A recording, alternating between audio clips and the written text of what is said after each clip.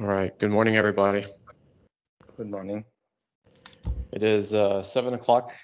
Um, I think people are still going to be joining in, uh, but I know Dr. Song has much to cover, so I want to go ahead and get him introduced and get the meeting started, and people can join as they come along and uh, enjoy today's uh, meeting. So just for uh, brevity, um, Dr. Song has been with us now for almost a full two years. Uh, it's been a pleasure and an honor to work with Dr. Song and to have him as part of this meeting and for him to have grown and led this meeting to what it is today.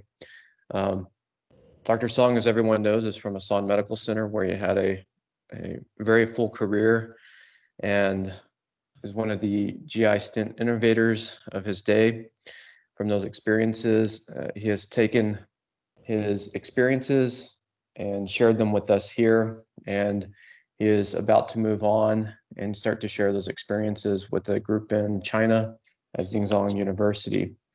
Um, we wish him the best of luck there, um, and thank you for your time with us. Um, without further ado, he's going to present two topics today. One is some tips uh, to help lead the authorship conference. Um, I think those are to help uh, myself as as far and and those that that are participating in this meeting. Um, and then he's also going to talk um, about his uh, stent technology as it relates to obesity and, and a um, in a presentation titled minimally invasive therapies for treating the obesity. So without further ado, um, let's all welcome Dr. Song. I thank you very much, Dr. Walker, for your kind introduction. This is my last time to join this meeting. What are the reasons for writing scientific papers? Scientific papers are the essential source of supply of medical knowledge. And through writing papers, you can share your experience with other scholars and remain up to date with the current literature. In addition, the number of publications is often used as a barometer of an academic caliber of an individual department, university, and country. As a result, research productivity is held in high regard by the academic community. Like death and taxes, writing papers cannot be avoided as you are a scholar. So its pressure and demand have given reason to the saying, publish or perish. Last Monday at this meeting, we reviewed an article written by Dr. Lopera entitled Ex vivo perfusion model for TIPS training. This is Dr. Josef Rösch, who published the first TIPS procedure in American Journal of Surgery in 1971. Dr. Rösch invited me to the 1993 Western Angiographic and Interventional Society meeting held in Portland, Oregon, and asked me to present two papers. It was my first time meeting Dr. Rösch at Dotter Institute and my first time to give talks at an international meeting. The majority of invited speakers were relatively old and renowned except for me. I asked him, how did you know of me and what made you decide to invite me to this meeting? He said, I read your articles published in radiology and nobody does lacrimal stent placement in Western countries. Since then, as my mentor. He has encouraged me to pursue the process of innovation and discovery. Three years before he died, I asked him to give me his word of wisdom for junior interventional radiologists in Korea. This was his reply.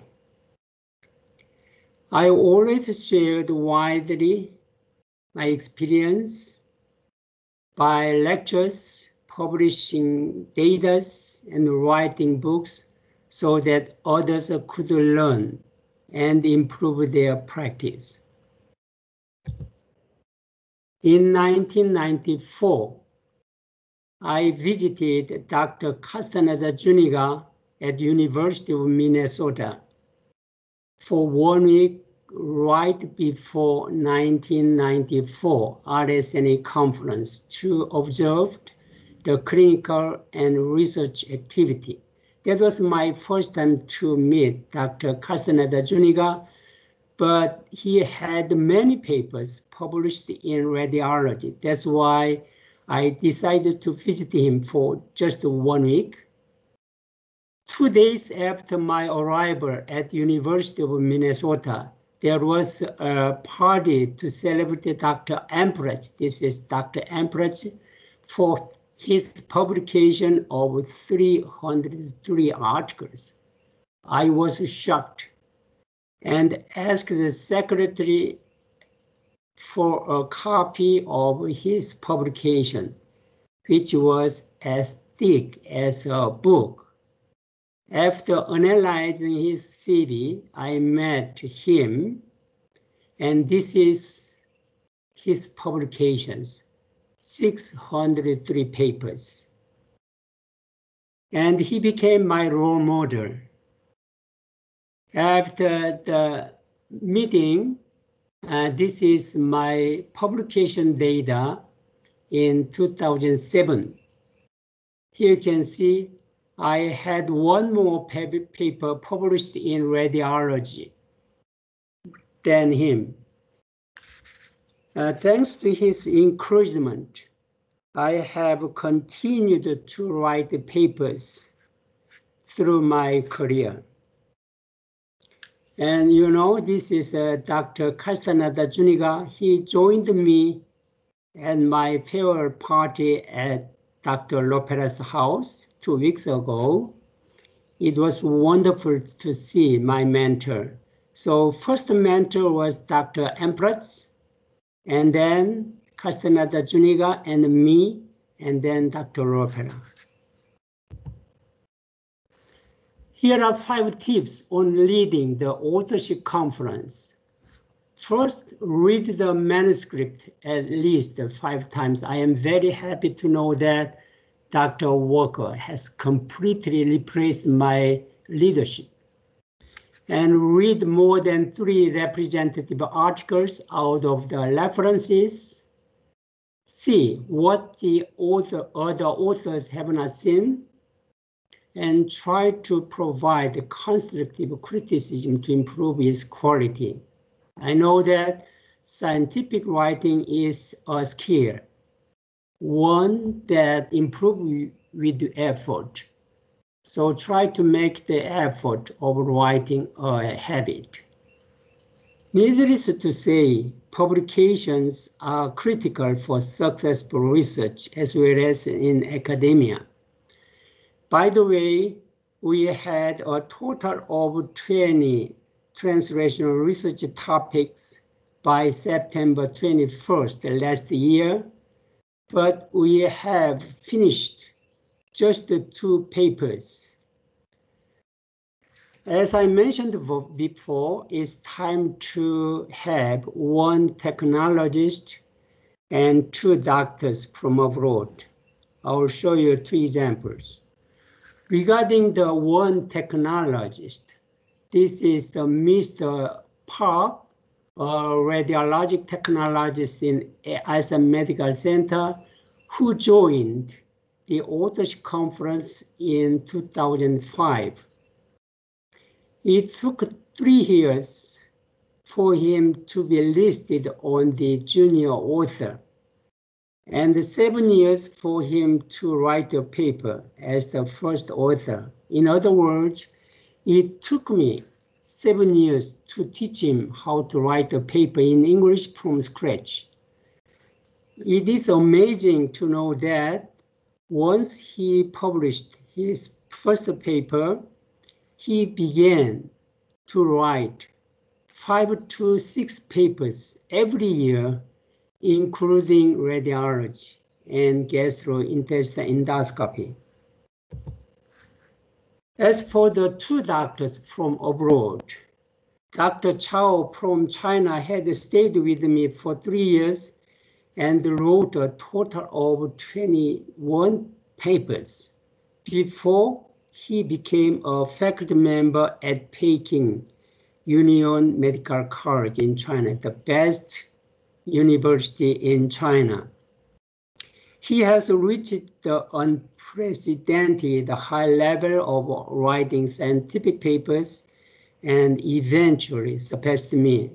There is a wonderful proverb in China, China, 情出为然. I believe that the US is losing the competition with Asian countries uh, with regard to publication. Why? Because there are publications in Asian countries, publication in the scientific indexed journals as the first author are becoming more and more important because there are strict publishing requirements for hiring and promotion. For example, in Korea, most of the university hospitals and medical school require three to six papers as the first author for hiring and promotion.